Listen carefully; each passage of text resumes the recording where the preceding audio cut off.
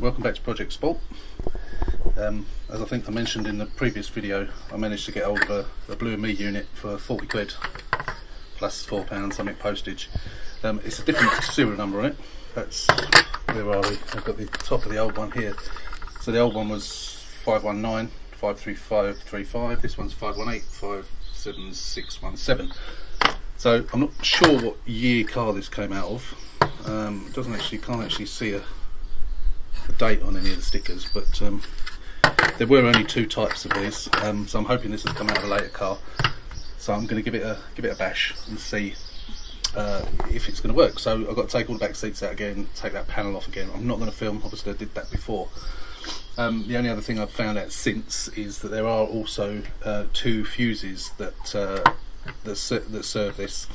When I had a problem with a previous car that I sold, um, but it didn't work at all. I changed it, still didn't work. I gave up. Um, buyer accepted the fact that it didn't work. Uh, I have, as I say, I've since found out that there are two fuses on the uh, BCM, uh, which is the one that's uh, under the passenger side, under the um, parcel shelf on the passenger side. Um, so if it doesn't, if I put this in and it doesn't power up, then I should check those fuses and see if they've blown. If they have, I might even get give the uh, person I sold the other one to a call, get to bring it down and uh, see if the, those fuses have blown. When I was trying to figure it out then, I couldn't find any reference to any fuses, um, but uh, someone on one of the forums has uh, thankfully, uh, helpfully said that there are two that serve it.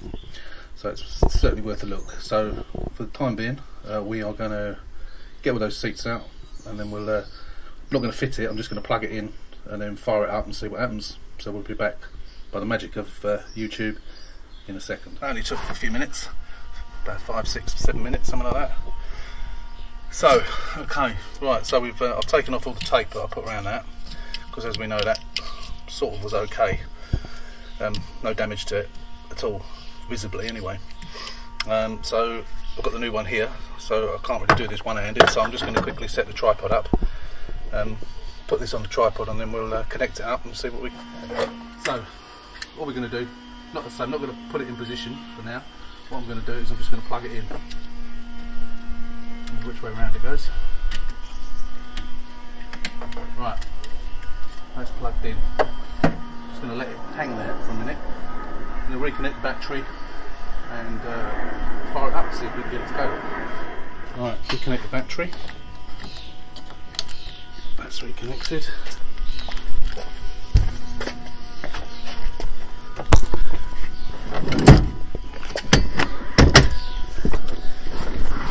Excuse the wobbly camera. Right, so in theory, turn the ignition on, turn the volume down. The uh, might have to fire up MES, and um, is it doing? in theory it should uh, give us a flash in mileage. I've got the doors open so that doesn't help. It's not coming up with the mileage. If I press the start, oh, here we go. No, it's not. So to me that means that means it's probably not going to work. So maybe those fuses have gone. So we'll try it anyway. So the radio's on. Uh, let's turn the volume up a little bit. Press the voice button. Ah, Blue and Me voice. Phone. No media found. Yeah, it's working. Phone.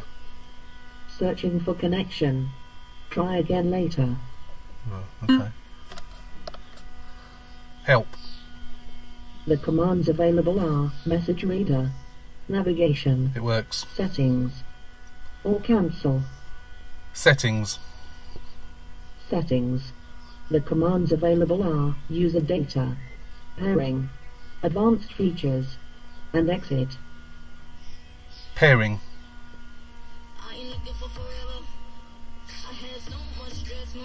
Hmm. Okay. Pairing. User pairing in Oh, okay. so I would say, obviously, I'm using my phone to record this, so I'm not, I can't do the pairing, but I would say that's working. Uh, but just to make sure, um, I'm going to uh, stop recording and I'm going to do a pairing with my phone and see if it actually uh, recognises it. Phone. Telephone. The commands available are call, followed by the name, dial, followed by the number, redial, or call back. Call Paul. Give name or say dial number. Call Tracy. Call Kirsty now. No. No. that was someone at work. I don't want to call her. So it works basically. It took me about three. Let's turn the volume down. It took me about three attempts to um, get it to uh, connect, um, but it's done it in the end. Uh, so I know it's working now. So it is connected to my phone. So I won't be fitting that other stereo. We're back to factory standard, and it's not even flashing, which is which does surprise me. So that's really good news. Uh, no no uh, fuses to change, nothing. So we're going to put it all back, um, and we're going to going to rivet it back in. So I'll get my rivet gun out, and uh, we'll rivet the the uh, unit back in, and then we can put it all back together again.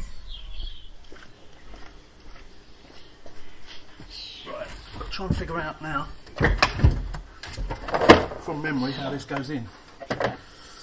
Uh, okay, let's have a look. I've forgotten which way around it goes and where it hooks. I might have to undo that first and put it in afterwards. So I'll get that back in.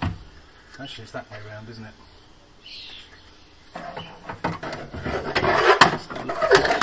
No, that's it, like that. That's it, goes in like that. Okay, so if we plug it in, forward and left. plug it in. Battery's disconnected again, by the way.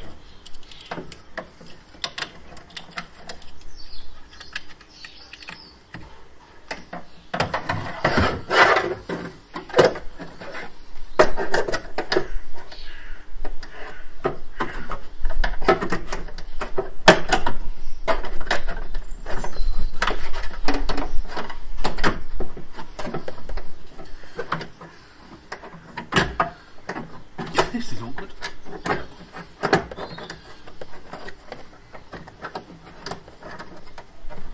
That's it. Right. Let me get the rivet gun out. Any right size rivets. Actually, that might be the colour. It's all right there. Yeah, we're going to use these ones. Um, put gloves on because it's really tough on the hands. I have got a, a one that goes on my compressor, but I haven't got a clue how to use it. I've never used it, and I will eventually one day get round to using it. But it's only three rivets, so we'll do it the old-fashioned way.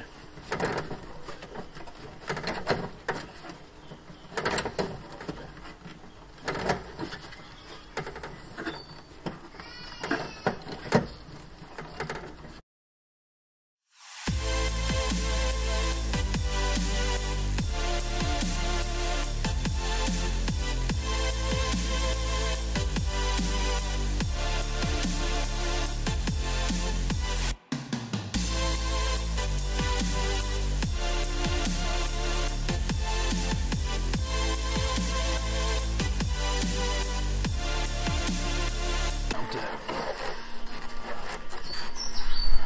That's it. Whew. Right, that's that. Take the gloves off. Okay, so uh, now that's in, all wired up. I'm going to put the uh, put the back panel on yet again, and then we'll be done with that.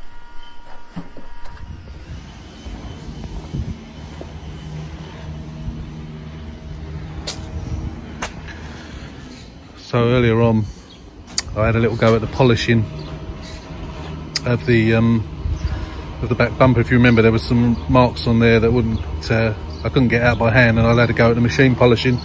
It didn't come out, so I've painted it. So uh, tomorrow I'll um, I've, it's had three coats now. It's come out all right actually. Uh, tomorrow I'll um, I'll let it let it dry properly overnight, and then tomorrow I'll uh, I'll come and uh, put some clear coat on it. Oh, excuse you. But uh, yeah, it looks good. Pleased with that. And that'll probably all fall off overnight, all that tape, but never mind. I'll leave it on there for the time being. Um, so there's not really much else to do on this one now at the moment. Um, obviously, still got to have the roof done. Uh, the wheels have still got to be done. Um, I've got wheel paint. I've got three cans of wheel paint. Uh, I forgot to get any primer though, so I need to go. I need to order some primer before I do those. Um, so I can't really do those at the moment. So now the Bluetooth's working, uh, I've got that bit of painting done. Apart from giving it a clean on the outside, getting the roof done, uh, it's almost it's pretty much done. The Abarth is uh, still in the paint shop, so I'm hoping to swap it swap it over and get this one done.